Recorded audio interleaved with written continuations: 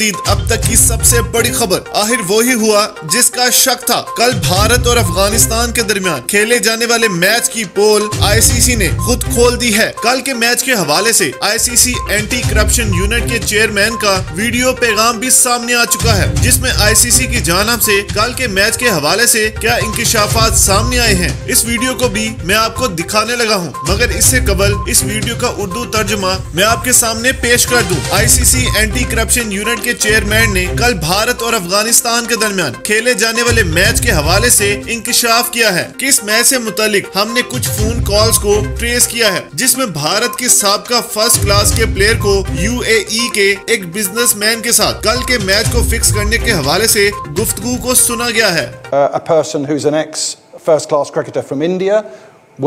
uh, businessman from the UAE who said they could arrange a corrupt cricket tournament. So, wide ranging allegations, and they deserve to be looked at seriously.